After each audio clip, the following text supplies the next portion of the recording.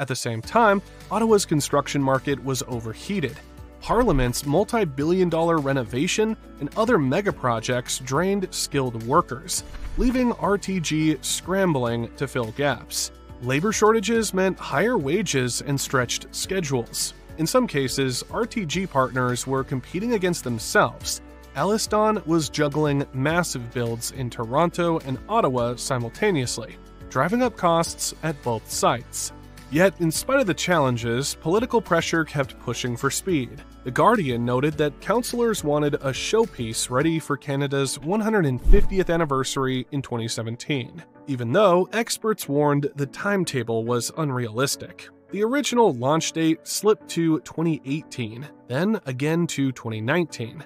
By the time the system opened, years had been lost, and costs were higher than anyone originally promised. The city's decision to award Stage 2 contracts before Stage 1 was proven functional only compounded the pressure.